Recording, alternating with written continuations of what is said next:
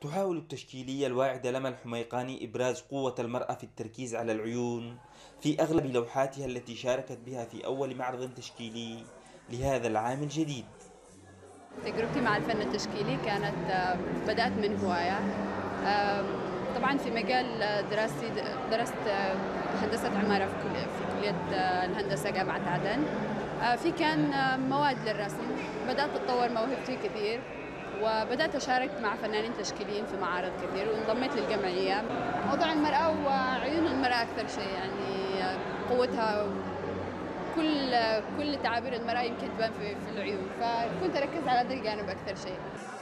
عشرات الفنانين ضمتهم جمعية ملتقى الألوان ليبرزوا تجاربهم وكان بهو المجلس التشريعي حاضنا مميزا للفعالية الأولى التي يقيمها مكتب الثقافة والذي وعد بدوره بعام حافل بالأنشطة الثقافية.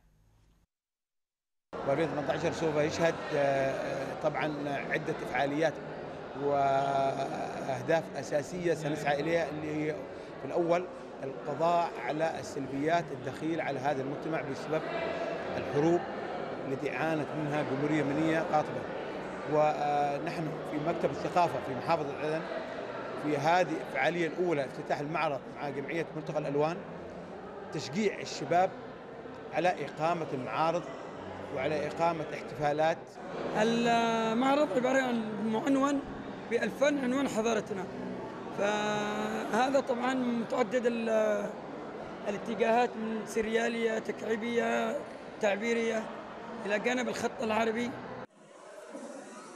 الإقبال الملحوظ للزوار يبين تعطش المجتمع للفن كفسحة تخرجهم من هموم المعيشة والأزمات المستمرة جراء الحرب وتداعياتها. فهنا فقط نجد حوارا أرقى بين فنون تختلف أدواتها ويوحدها نجدان الجمال.